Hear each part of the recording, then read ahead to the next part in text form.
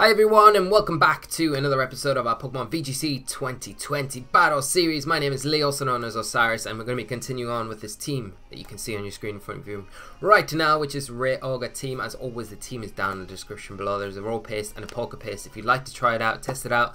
And if you do, let me know in the comment section how you're getting on with it, what you like about the team, what you don't like about the team, and what you've maybe changed up about it to suit your own playing style. So, uh, we'll just kick straight into it today. We are 6-0 at the minute. I'll hop over to the right screen. Uh, we'll get some music on. And uh, as always, if you do enjoy this sort of content, please remember to drop a like on the video. Do subscribe to the channel for more Pokemon content. And uh, as always, leave your comments down in the comment section below. We'll go with Necrozma version 1 as the track to kick us off today. Tim's been doing really well so far this week. And like I keep saying, we are quite low ladder at the minute. But regardless of that, the team feels nice. It's flowing nice. We haven't seen too much of the Rayquaza. I feel like the the restricted kind of that's been putting in all the work this week so far is the Kyogre, which is kind of obvious. A bit surprising that we've not been really utilising the Rayquaza as much. Um, maybe because of the band. Um, I feel a lot more comfortable with the Sash always.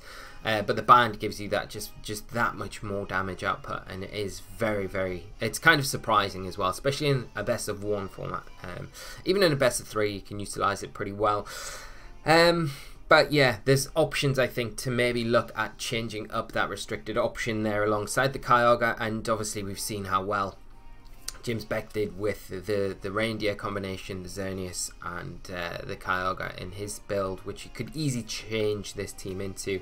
Um, you maybe want to look at adding in something like Amoonguss if you were to do that, but uh, it's very flexible, and I think this sort of build is uh, it, it, covers most things in the format right now and uh, does quite well. So it's a good starting team, I'd say, for those of you that are getting back into Pokemon at the minute and uh, want to look at kickstarting into the season. Now it's going to take a little bit longer to find opponents. some reason today is not the day to be looking for opponents. So what I'll do, I'll cut it right now and we'll come back when we find our first opponent of the episode. We've got FaZe as our first opponent of the episode from Australia. Sunny old Australia, so we'll get straight into it. Um, would you believe it? Talking about that reindeer call, exactly what we bump into. It's fate. So we got Xerneas, Kangaskhan, Incineroar, Kyogre, Stakataka, and Tornadus. We've got options of speed control here, straight away identifying those. We've got the Stack Stakataka with the Trick Room, can help support Incineroar and Kyogre, and possibly Kangaskhan. Also a good deterrent against opposing Xerneas. And then you've got uh, the speed control on the opposite end of the spectrum with the Tornadus offering Tailwind there.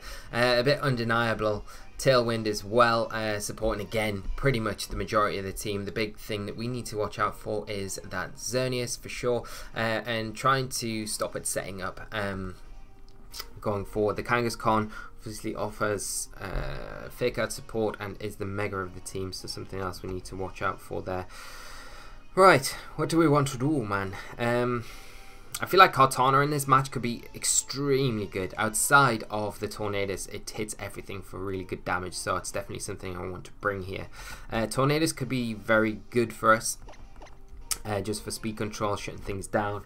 Um, yeah, I'm going to bring Kartana Tornadus as lead. I think we want to bring our own Kyogre, and what else do we want? Do we want our own Rayquaza? Ray could be really good here, actually. Um, even though Incineroar could be extremely useful. I'm gonna gonna up the rate, um, just because I feel like we can probably do enough throughout the game to put things in extreme speed range to try and bring rain late game and sweep up. Hopefully that's the that's the plan, but we'll see what happens. So um, I think this is the highest rate player we've played this week. Maybe I don't know. Uh, we're going to see Kangaskhan and Xerneas come out for my opponent, which is fine.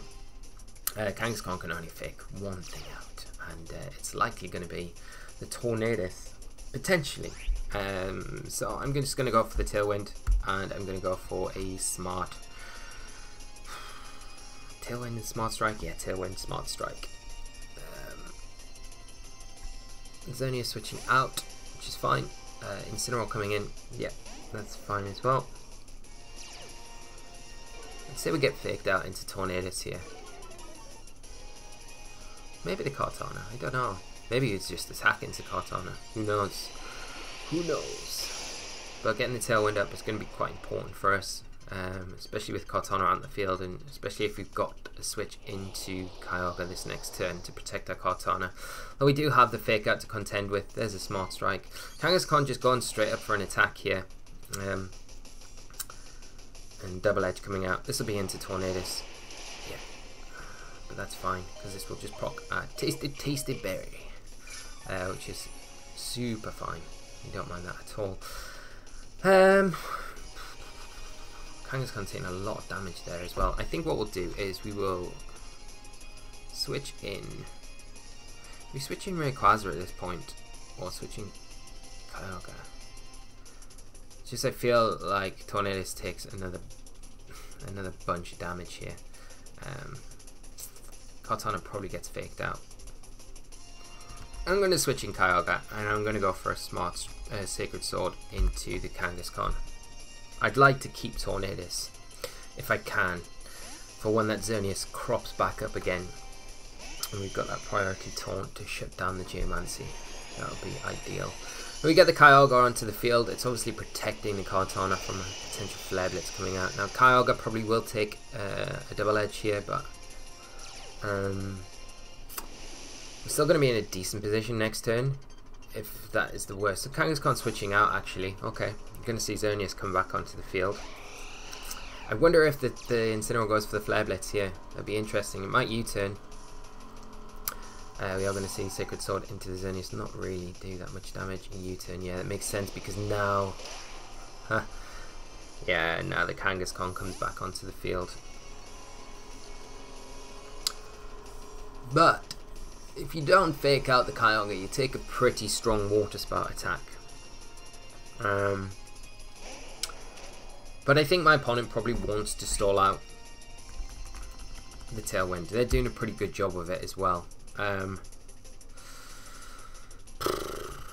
what are we going to do? We could bring in Ray, but it's just going to weaken our... I'm going to Smart Strike into the Xerneas. I'm chasing the Xerneas all the time. The, the, the smart thing here probably is to Sacred Sword the Kangaskhan, although the Fake Out, like I said, can only really come out onto one one of our our Pokemon. So if that Xerneas does stay in and they fake out the Kyogre, then we do get a Smart Strike. It is going to be intimidated, so we're not going to be doing as much damage, but it makes more sense, yeah, to uh, stall out these these Tailwind. It's kind of baiting us out with, um, I'm going to say the, the fake out into the Kyogre here, for sure. Yep. Yeah, and this is what I mean about the Sacred Sword into the, the Kang here. It would have been made more sense, I think. Um, but we're still in a decent position this next turn. Kartana is uh, double intimidated. Now, with our last turn of Tailwind up, I think... Should I just Leaf Blade? Sacred Sword, I think. Sacred Sword and Scald, the Kangaskhan, that should be enough to get it. Um, I'm not really... Okay.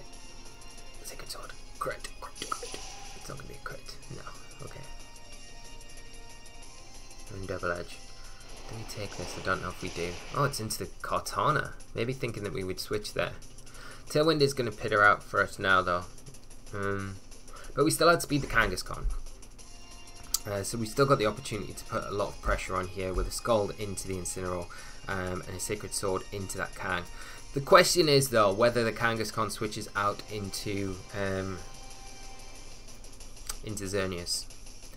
Because I don't think um, the one thing we could potentially do is Scald into that slot and Sacred Sword into it as well. We kind of cover bases there. If it does switch out into Xerneas, at least we get some nice damage. Okay. Incineroar switching out. And Kyogre coming in.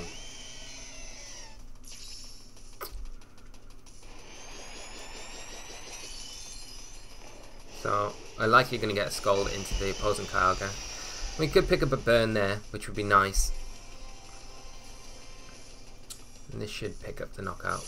And give us a beast boost as well uh, onto our Kartana and get rid of one of those intimidate drops as well. Minus two at the minute, which isn't ideal. Um, we'll get a Scald into the Kyogre. At least we know my opponent's four Pokemon. The worrying thing now is that we probably see the Xerneas come onto the field. We do pick up the burn as well onto the Kyogre. And the Xerneas probably comes in. We've not really got anything to get around. Uh, the Geomancy setup, which is a little bit awkward for us. Because what have we got in the back? I mean, we got we've got Ray. Okay, uh, one of our options definitely could be doubling into Xerneas here. Um, the problem doing that is, I feel like if you Kyogre, you potentially switch out into Incineroar. We still don't really get any further down.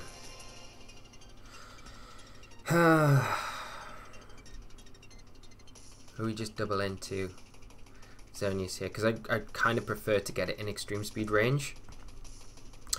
If it does stay in. I'm going to just double into it, knowing that we've got Ray in the back.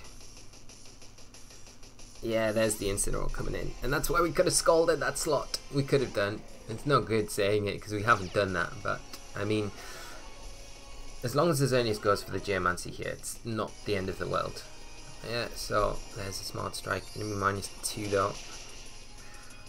Um, and then the Geomancy coming out, yeah. And the Scald, if we get the burn, you know, this kind of clinches the game for us. I think if we get the Scald burn here, I think we'll be able to close this one up pretty easily um, because the burn chip will put that Xerneas 100% in range for Rayquaza coming in.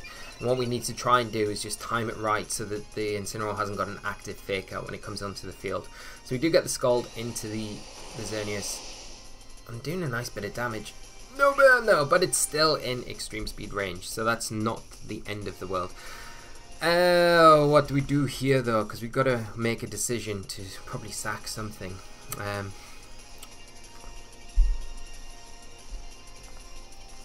we could potentially protect. I think I'd like to keep Kyogre around for the Incineroar in particular, uh, and I definitely want to. I'm going to sack Tornadus. Out of everything they've got, um, normally if I wouldn't have the Rayquaza in the back, I would probably say, let's sack the Ray slot, if you get what I mean. Because then we got the speed control with the Tornadus, we can bring it in get the speed control up, and then hopefully have enough in the tank from there to uh, with Kartana to close things out. But with the extreme speed from Ray, I think it changes the dynamics of the game. We're going to see Incineroar switch out. We're going to see Kyogre come back out onto the field. Now we're kind of hoping here the Tornadus goes down. If it doesn't, it's not the end of the world because then we still got Tailwind we can take advantage of. There's Moonblast. Yeah, it's into Tornadus. So into that Kartana slot which now opens the door for Ray to come in. And even an intimidated extreme speed uh, is going to be enough. And one of the things we can really play on here is um, the Incineroar coming back in on that Kyogre slot, which you've got to imagine what my opponent would probably try and do. Switch out their Kyogre, get the Incineroar onto the field with the Intimidate, and then the, then have the uh, the fake out the next turn to stop the Ray being able to extreme speed um, but what I'm going to do is Scald into that slot, um, Mega Evolve and Extreme Speed. Because if the Incineroar does come in on that Kyogre slot now, Scald should be able to pick up the knockout. We're not going to see a switch out though. I wonder if we're just going to see the Kyogre go for an Ice Beam. Potentially could.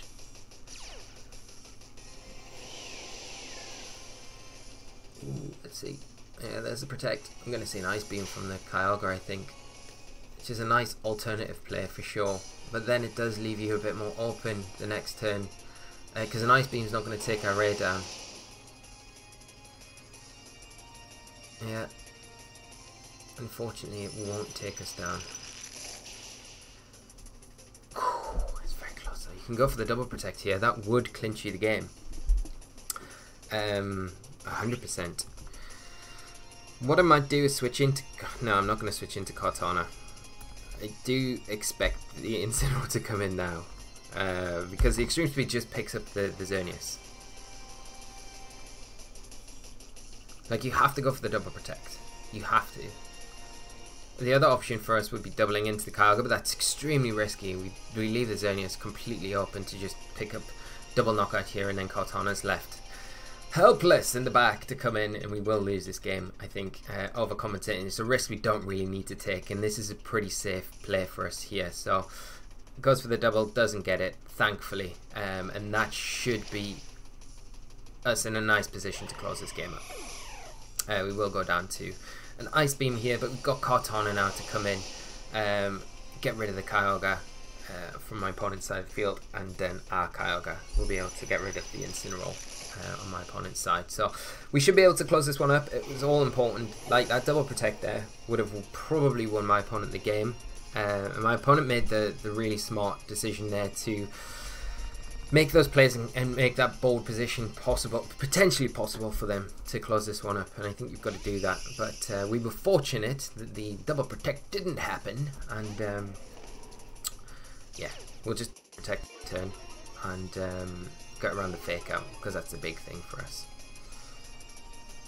And then probably double into um, double into the uh, the Incineroar the next turn. Or do we? Do we? Yeah, we do. we definitely double into it. I think the burn changes things on the Kyogre where we should be able to one-on-one -on -one the opposing Kyogre. I think we're probably going to see uh, Fake Out and um, probably an Ice Beam into our Kartana here. yeah. And then this next turn we'll probably see the Kyogre Protect uh, the Incineroar try and get the Flare Blitz into our Kartana. Um, and we will just go for the, the Scald and the Sacred Sword into the Incineroar. And that combination should be enough to get the Incineroar even around a berry. There's the Protect yeah so. Um, Sacred Sword what are we doing? Procna Berry not even so Ah, got like hair in my mouth. Where's that come from? That works out even better for us, not Procnaberry. Picking up the knockout onto the Incineroar there. And making sure that we do get the, the kill. And now puts us in a nice position to just Leaf Blade. Kartana putting in a lot of work in this match. Um, and pick up the victory here. Um, and I think, yeah, pretty happy with how we played this one. Very good game to FaZe. And a uh, nice one for us to kick off with today. So that's really good. Match is forfeit. And uh, yeah, continuing on in style. So yeah, very nice game for us to start with today. So I'll hop over to the screen, see where our rating is at the minute. We should be creeping up upwards towards the 1600s, which isn't too bad for us. And I think 7-0 this week, so it's not too bad um, to kick us off with this team, and I do really like this team. This team I probably will take to uh, a Premier Challenge or an MSS even um, in the coming weeks. I think it's something that I feel like super comfortable with, and even though you, you kind of know the ins and outs of it, it's one of those teams where I think you can kind of find a way around most teams with the the options that you've got there, especially with the Tornadus. I think it does open the door up, and I do it's weird. I played Tornadus very early Ultra Series, and um, I, I, kind of said like then it was like it would be still a very useful tech that we've seen how useful it was in Sun and Moon series. Um, but it kind of dropped off early Ultra series, and it's nice to see it kind of come back. Um, late Ultra Series, especially doing well at Worlds because it is a very good Pokemon, and uh, it was right before Worlds where it started to pick up all of that like popularity again. And I imagine it'll probably continue as we go into the Ultra Series, into the back end of the Ultra Series. As long as you've got an opposing terrain control to get around potentially psychic terrain, it's it's still really really powerful, and that kind of undeniable tailwind uh, is just so useful with a lack of trick room teams as well in this format. We're not seeing too many of them, and uh, hard trick room is just not a thing that we're seeing at all. I think the tailwind is a bit more of a viable option uh, for most teams to rely on. So we'll look for our next opponent, as it has been this the standard taking ages to find any opponents um, recently. I'll cut this now. and We'll come back when we find our next opponent of the episode. And we've got our next opponent, so let's hop straight into team preview. Alright, our next opponent is playing a team of Kyogre, Yveltal, Tapu Lele, Gengar, Stakataka and Incineroar. Now this is a team that did really well in the early portion of the Ultra Series and then fell off a cliff and we never really saw too much of it since then. The odd odd appearance here and there, but this is a team that I feel does really well at the moment. Uh, consisting normally of Tapu Lele being scarfed, Mega Gengar to trap everything in. Then you got the Trick Room element with the Stakataka uh, alongside that Kyogre, and potentially sometimes Assault Vest on Yveltal, but sometimes there's a move there uh, with Tailwind support. So you've got dual speed control options on the team. Very good team, solid team, and uh, something it's going to be difficult to get around. So I think Tornadus, Tapu Koko. Good options for us. I think I need uh, Incineroar in this match. Or do I? Do I? Do I? Or do I bring Rayquaza? Rayquaza. Hmm. Hmm. Could we potentially lead Kyogre? I just worry about, well, I don't know if you're going to go with Tapu Lele to begin with, really, anyway. Um because um, we could go Tapu Koko, Tornadus, and I think I'm bringing Rayquaza instead of Incineroar. Hmm. It's a tricky team. Always a tricky team. I think it's one of the better built teams in the format. Probably doesn't get as much credit as it deserves. Um, I think it's a really, really strong, strong variant. Probably one of the strongest that we've seen in the Ultra Series. Um, and one I'd probably like to see a little bit more of. I always find it very tricky playing against it because of just the dynamics of the team and how versatile it is. We're going to see uh, Tapu de Koko and Kyogre come out for us, and Yveltal and Incineroar come out for my opponent. So, don't mind this too much. Uh, my opponent has got a free, pretty much kind of fake out and attack into Kyogre if they want here. Um, we could double protect, but it will give my opponent the opportunity to set up their own tailwind. Um, which is not really what we want to be doing. Um, there's definitely they're definitely going to fake out into the Koko. They, I think they have to. Um, what options we got in the back? I don't really want to switch anything in, so I think protecting Koko here, uh, Kyogre is, is the, the, best option for us. Um, and going for a Thunder into Yveltal, although it's probably just better do they go Tailwind though? That's the thing. I think he probably goes Z move this first turn. Although probably not, because you I'm gonna go Water Spout and I'm gonna go Thunder. I'm just gonna double attack. Try and get this Yveltal. If we see Z move, it's gonna make this match way harder for us. We don't actually see any fake out, which is pretty nice for us. So if we do see Wow, we get the Yveltal! this is gonna be a quick one, okay. Uh, which isn't the worst thing in the world. Um, yeah, my opponent predicting that we probably uh, not attack with Kyogre, but um, this is the thing that I always come back to. Like, if you've got the option to fake out the big threat on your opponent's side of the field and you don't do it, uh, and you can't blame anyone else but yourself because you give your opponent the opportunity to take down those Pokemon for you and you got punished for them making the, the straightforward play. And people will say, well, it was just a, it was just the most obvious play to make. But yeah, it's the most obvious play. You you could have got around that. Could have faked out the the Koko, and if you've got the Z move on your Yveltal, then you could have went for that. Like, and that's a safe play. So you know there is that argument there, um, and always something to come back on. You never really want to put yourself at a deficit at this early stage of the match because it gets so difficult from here on out. Um, now we do see uh, the Tapu Lele and the Kyogre come in for my opponent. Um, really what we can try and do is is concentrate down on the, the, the Tapu. I think at this point as well we can probably sacrifice Tornadus by getting it in on the field so we can get Tapu Koko back in but we're just going to see the forfeit. So that's what I mean. Like you lose so much resource at the start of the match, it's near impossible for you to come back out, and that is the decision making that is so key. You know, you think, okay, well, if I make this decision, it's a little bit risky. Uh, you've got to think, what's the worst case scenario in that situation?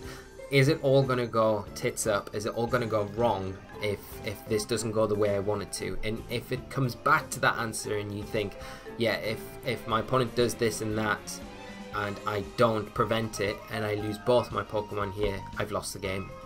Then that is the wrong answer for you to really do, especially in an early stage in a match like that. So um, we've had really one really good game and one good example of not um, giving your opponent too much room early on. So we'll end it there, my friends. Hope you've enjoyed today's episode. We have kept up with this flawless uh, run at the minute, so hopefully we can end up the week 10-0. Imagine that. So we'll see if we can do that tomorrow. As always, do leave a like on the video, leave your comments, and do subscribe to the channel. And I'll see you all for the next episode tomorrow. So until then, take care of yourselves and bye-bye.